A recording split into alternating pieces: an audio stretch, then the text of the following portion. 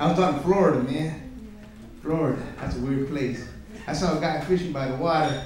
I go, aren't you afraid of alligators? I'm afraid of alligators.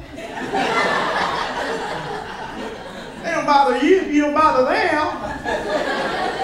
You ain't from around here, are you, boy? I said, no, I'm from Los Angeles. Los Angeles? Do you know Jose?